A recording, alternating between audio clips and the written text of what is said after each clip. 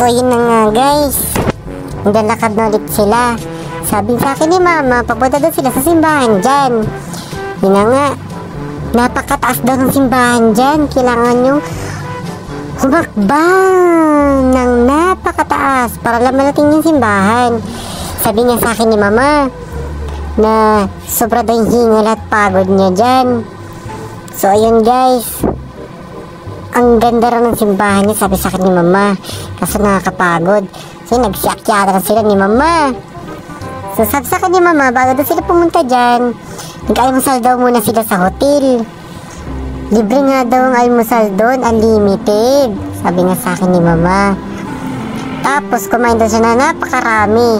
Tama-tama din pagkain napakarami kasi nakakapagod doon yung hagdan dyan.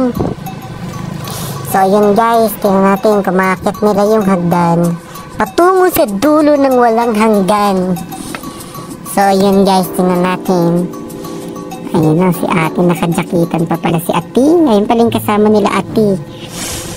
Hello po sa'yo ate na hindi ko po alam yung pangalan. Shoutout po sa'yo. Ayun na po, akit-akit na sila. Grabe, nahipahinto na si ate. Baka hindi na niya kinaya. Hello si ate, nakapayangan pa si ate. Oh, bit bit bit bit niya yung kanyang cellphone. Hindi sa mahaba pala, eh, no? Ang taas. Ayan na.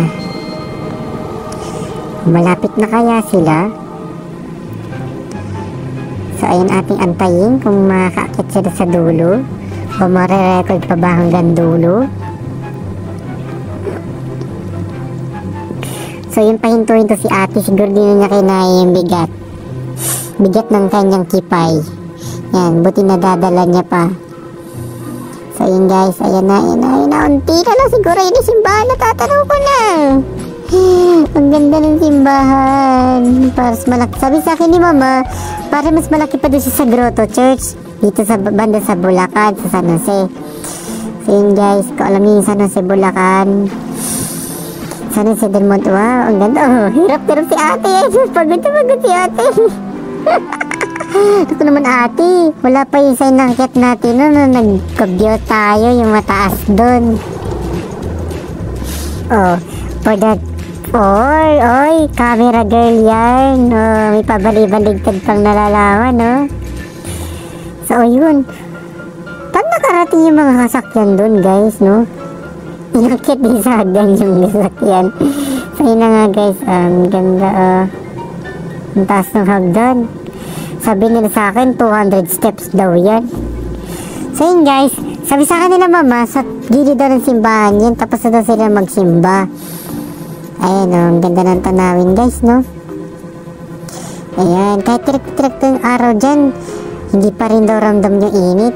Lamig daw talaga para daw nasa freezer. Yun sabi sa akin ni mama. So yun guys, uh, mukhang hanggang dito na naman tayo. Magkita na lang tayo sa susunod na video. Abangan nyo guys ha. Dahil may pupuntahan pa daw sila mama na hindi ko alam. Malalaman natin yan sa susunod na part. Paalam!